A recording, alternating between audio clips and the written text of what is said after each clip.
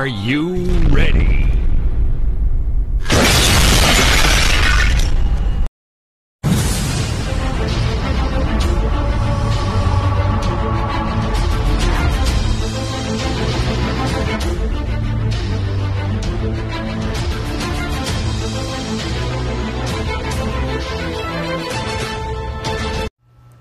Ating pagbibigay galang sa Arsobispo nitong Archdiocese ng Ozamis, Most Reverend Archbishop Martin Sarmiento Humuad, at sa ating kapangako nitong Huluchal Parish, Clarin, Misamis Occidental, Reverend Father Alfredo Malalis. Mga kapatid, ito po ang krusada sa pagtuong katoliko o ang krusada ng pananampalatayang katoliko. Kaya mga kapatid, sa ngalan ng Catholic Crusade Ministry, one of the evangelistic arms and also the apologetics ministry ng Oasis of Love Charismatic Community, sa ating Head Crusader, Taday Paul San Pablo Lima na siyang ating main sponsor nitong ating programa mga kapatid. At sa ating Tatay Dudong Limchua na siyang ating head servant ng Oasis of Love Cebu. Sa kasamahan natin at pamilya natin sa CCM at ng Oasis of Love. Maraming salamat mga kapatid. Mga kapatid, hindi rin natin pwedeng makalimutan ang iba pang mga sponsors nitong ating lingguhang programa mga kapatid sina Ma'am Shelo Carion at si Sister Roxanne Bidbid. Kaya maraming salamat mga madam. Mga kapatid, nagsimula na po ang Advent. Ano po ba ang Advent? Ito po ang pamamaraan ng simbahan upang bilangin ang mga linggo kung saan patungo na tayo sa Christmas season. Kaya ito ang nagsisilbing countdown ng ating simbahan na naghihintay tayo sa ating celebration sa Christmas season or ang pag-celebrate natin sa kapanganakan ng ating Panginoong Heso Kristo. Kaya nga, pag Advent na, nangangamoy Pasko na po.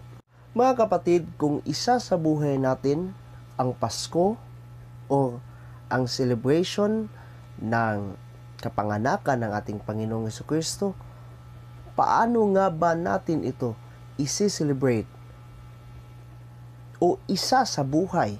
Of course mga kapatid, hindi mawawala ang pagdadaos natin ng mga banal na misa sa ngalan ng ating Panginoong Kristo bilang tanda ng ating pag-celebrate sa kapanganakan niya. Of course mga kapatid, hindi rin mawawala ang pagbibigayan Pagbibigay ng ano? Mga material things nga lang ba? Mga pera at kung anong mga surprises? Of course mga kapatid, hindi lang dapat mga material na bagay ang ating ibinibigay. No? Dahil nga, the essence of Christmas is giving. Ano po? And of course, nakarapat lamang na hindi lang material na bagay ang ating ibinibigay. Of course mga kapatid, nandyan na rin ang pagmamahal. Magbibigay tayo ng pagmamahal sa bawat isa. Well, anyway mga kapatid, pagmamahal lang nga ba sa ating mga minamahal na dati, gaya ng ating mga pamilya, ng ating mga asawa, ng ating mga jowa? Of course mga kapatid, gaya ng paulit-ulit na sinasabi ng Panginoon na mababasa natin sa banal na kasulatan na siyang Biblia, hindi lang dapat sa ating mga minamahal na dati tayo magbibigay o magpapakita ng pagmamahal o pag-ibig. Kung hindi, doon din mismo at lalong-lalo na sa ating mga kaaway. Ang pagpapatawad mga kapatid, ang siyang isa or maybe ang pinakamabisang pagpapakita ng pagmamahal natin sa ating mga kaaway. Of course mga kapatid, hindi lang pagpapatawad, kung hindi ang panghihingi din, na din ng tawad. Of course, doon sa mga taong minamahal mo pero nagkasala ka. And of course, and much better, doon sa mga taong galit ka pero nagkasala ka. And you know what's best mga kapatid? Ang panghihingi ng tawad doon sa taong galit ka at doon sa mga taong sila pa yung nagkasala sa iyo at ikaw pa ang nanghingi ng tawad for the sake of the glory of God. Yan po ang pinaka-the best na pagpapakita ng pagmamahal, mga kapatid. And of course, mga kapatid, hindi rin natin pwedeng kalimutan na mag-sorry or manghingi ng tawad doon sa individual na pinaka-importante at dapat nating hinga ng tawad. Sino yon? Of course, that is our Lord Jesus Christ, our God. Kasi nga, sin is a sin eh. We must force ourselves to say sorry for that. We are obliged to repent and to say sorry for that. At bilang mga Kristiyano mga kapatid at bilang nasasakop sa iglesia or sa simbahan na itinatag mismo ng ating Panginoong Heso Kristo, a simple sorry for Him na sa pamamagitan ng isang dasal is not enough actually dapat idinadaan natin sa isang sakramento. Ang sakramentong iyon ay the sacrament of reconciliation or ang pagkukumpisal. Palagi nating binabanggit dito sa ating programa mga kapatid that the church is the mystical body of our Lord Jesus Christ. Ito ang katawang mistiko ng ating Panginoong Heso Kristo. Mababasa natin yan sa sulat ni San Pablo patungkol sa mga taga-Kolosas Kapitulo 1, versikulo 18, and of course, sa sulat pa rin ni San Pablo patungkol sa mga taga-Efeso, Kapitulo 5, versikulo 23. At sa panahong ibinigay ng ating Panginoong Heso Kristo ang susi ng kaharian ng langit sa Pedro or sa bato na kinatatayuan ng ating simbahan which is the Pope, the fullness of the authority, ang kabuuhan ng otoridad ng katawan ng ating Panginoong Heso Kristo ay ibinigay niya sa simbahan. Kaya nga mga kapatid, kung babasahin natin ang Ebanghelyo ni San Juan, Kapitulo 20, versikulo 22 hanggang sa 23, ito ang ating mababasa. Pagkatapos, sila'y hiningahan niya at sinabi, Tanggapin ninyo ang Espiritu Santo. Ang patatawarin ninyo sa kanilang mga kasalanan ay pinatawad na nga. Subalit ang hindi ninyo patatawarin ay hindi nga pinatawad.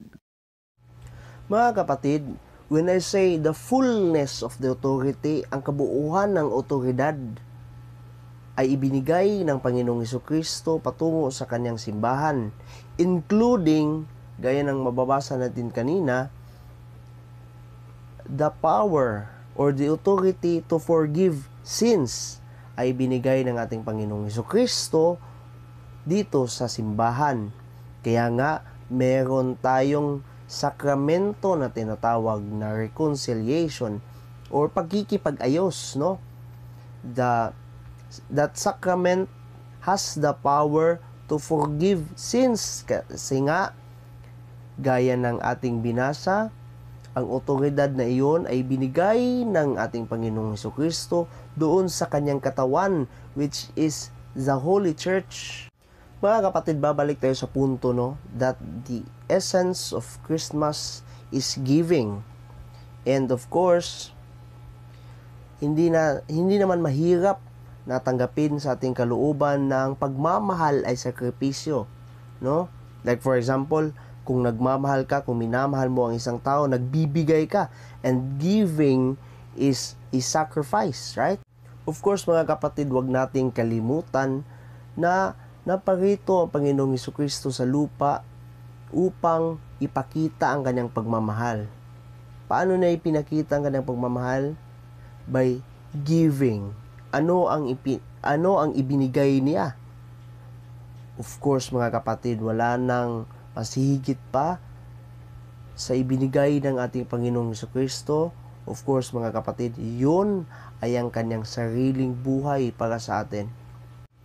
Ibinigay ng Panginoong Kristo mismo ang kanyang buhay upang magpatawad at upang magbigay ng pagmamahal at upang magbigay ng buhay.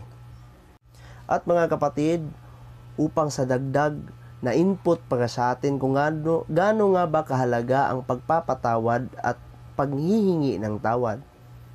Hayang hayaan nating um, pakinggan ang isang humiliya ng isang pare, si Reverend Father Ramonito Maata ng Parish of St. Anthony de Padua ng Sibulan, Negros Oriental.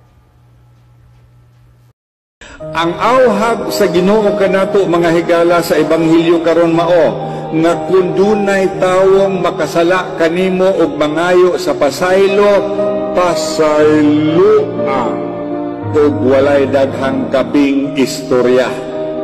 Kay maingon man tadayon gipasaylo naman tikaw pero di joko kalimot. Ay wala pa pasaylo kadi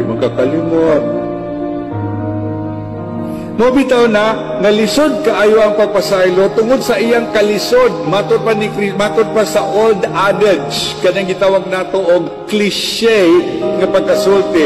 To err is human, to forgive is divine. In other words, ang pagpangayo o paghatag sa pasaylo usa ka balaan o usa ka makapasantos nimo. Ilisod kayo ay kana ba yung pagpasaylo no? Imo gid nang giputol ang bantayog sa imong garbo. Ngano man kay kinahanglan ka magpaubos. Una, lisod kaayo ang pagpangayo ug pasaylo. Bisan pag ikaw nakasala, lisod kaayo ng pagpangayo. Unsa nadagway ang paghatag. No? Karon, gikinahanglan kay matud pa sa atong pag-ampo sa amahan namo. Moingon man kita eh, pasaylua kami sa among mga sala. Ingon nga nagapasaylo kami sa nakasala kanamo pero naman ko kaayo kung mangayo ka pasaylo sa Ginoo especially sa panahon nga mudawat ka sa sakramento sa ka, sa pagpangumpisal clarix kay na pasayloon gyud Ginoo. Pero ang tanong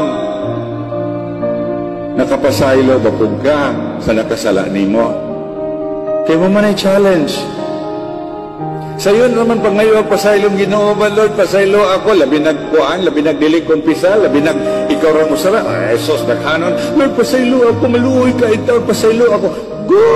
Fine! Pero sa panahon nga moduol ka niya sa kumpisalan papason gid na ang imuhang sala. Pero ang challenge, kay mo uli man ka.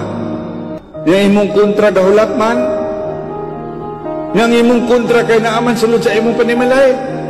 Nga imong kontra kay naaman sa imong silingan, inigagi di mo sa dalan, susko. At susko, saan na lang yun? Oh, ang tanong, nangay kag pasaylo, nangupisal ka, ipasaylo ka, ipapas na, ang pangutana pareha ani ni ang gituok niya niya ang kaubang gamay ra gani iyang utang pabayaran niya. Karon ang pangutana napasaylo mo ba o makapasaylo ba ka?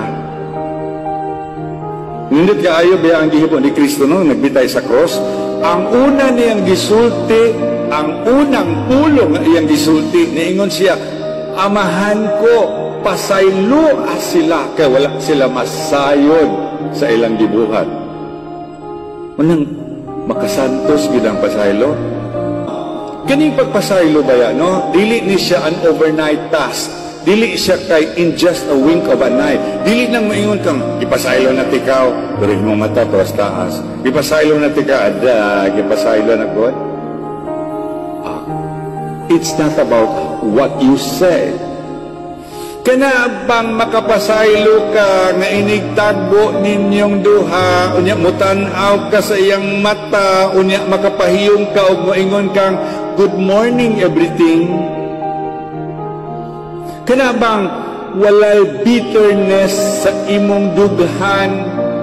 Kana bang wala kay gipasan nga kaaligot-got sulod sa imong galamhan nga makakita ka aning tawhana kay ang pagpasaylo is more than forgiveness. It's called reconciliation. Ang pagpakikiuli, manabitaw nga, ang pinaka-shortest way to heaven, one of that is forgiveness. Because ang pagpasaylo is a process. And it has to start somewhere. It has to start somewhere. Wala ko mag-ingon nga kung magtagbo mo ron pag-ingon nimo gipasaylo na bayat ikaw. That's very impossible. No, it's impossible. But uh, but the process of forgiveness starts somewhere. Pasayloon ka sa Ginoo, hagit ka na nimo pagpasaylo sa uban kay equal na ha. Dili ka pwede pasayloon sa Ginoo nga dili ka kamo mo pasaylo sa imong isig kaingon. Kinahanglan na kung mangayo kag pasaylo sa Ginoo, makapahatag po kag pasaylo sa uban. Process it from here. And it means a lot of a tremendous gift and grace from the Lord. Kung hindi mo kaya ngayon, darating ang panahon. Pagdating ng panahon, kung hindi man ngayon, sana bukas pa ang kahapon. Pero start. Walk towards forgiveness. And as you walk towards forgiveness, little do you know that you are walking towards heaven. Ganahan mo magbunga atong pagsimba, nga mga butag langit tanan, pasayloa ang tao nga imong kialigugutan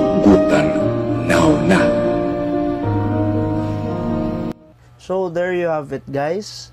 Ganyan po dapat tayo bilang Kristiyano Katoliko mag-prepare sa ating mga sarili para sa kapanganakan ng ating Panginoong Heso Kristo. Well, anyway mga kapatid, Happy Advent sa ating lahat. Kaya sa ngalan na lamang ng Catholic Crusade Ministry, one of the evangelistic arms, and also the apologetics ministry ng Oasis of Love, Charismatic Community. Ito na lamang si Bro Migs. Peace. Jesus.